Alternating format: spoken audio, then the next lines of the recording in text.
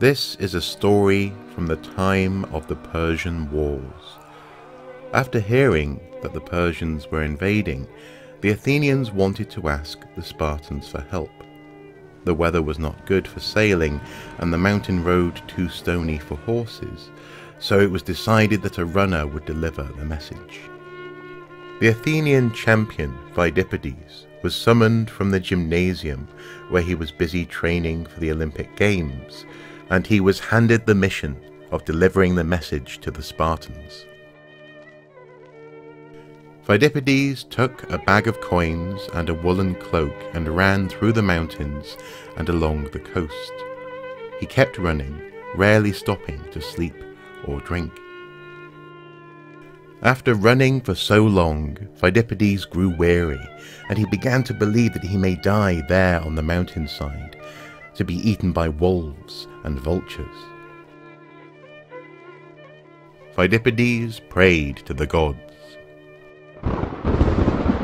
He became aware that someone was running alongside him, keeping pace with him. He could hear the trotting of hooves and saw a horn. Pheidippides had prayed to the god Pan, and he had appeared to encourage him to continue.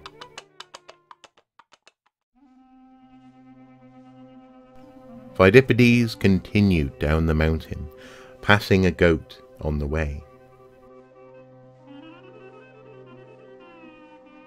Finally, he reached the city after running 150 miles in two days.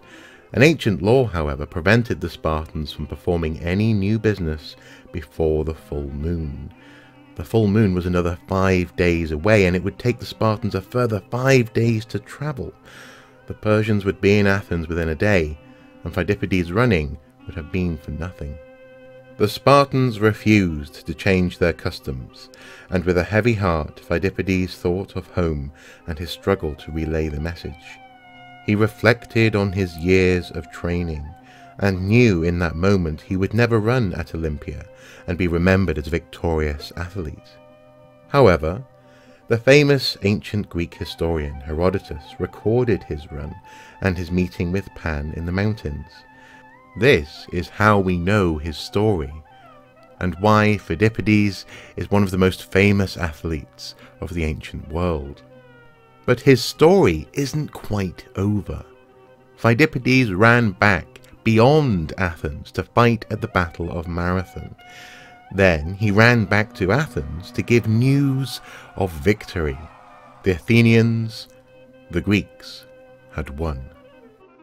And so you see it is the story of Pheidippides, preserved by the historian Herodotus, that is the reason we call an arduous task or a long run, such as the modern Olympic event, running 26.22 miles, or indeed an event such as the Great North Run, running half that distance, a marathon, or a half marathon.